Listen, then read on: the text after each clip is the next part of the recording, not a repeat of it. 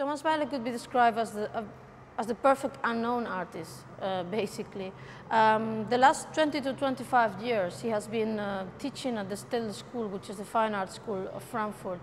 Um, one said of him that uh, he actually produced as many artists as works you can see in this exhibition.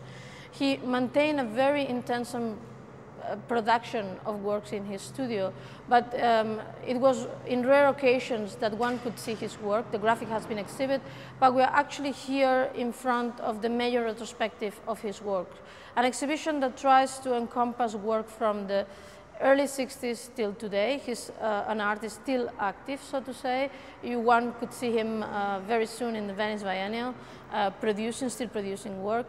As I see, it, it's a very curious and interesting, challenging work, not only for our historians, but also for the reception of the last 40 to 50 years of art history in Europe, because um, he maintained a very productive tension with the presence of his time. That means that um, he has been receptive to pop, receptive to um, um, conceptual art, printing art, uh, filmic practices, um, kinetic art, information art, but actually he could remake all this into a very particular language, a language that allow us not only to reread the history of art again and under a different light, but also to pick up some clues that would help us to understand also the tensions that we maintain today with our own contemporary present.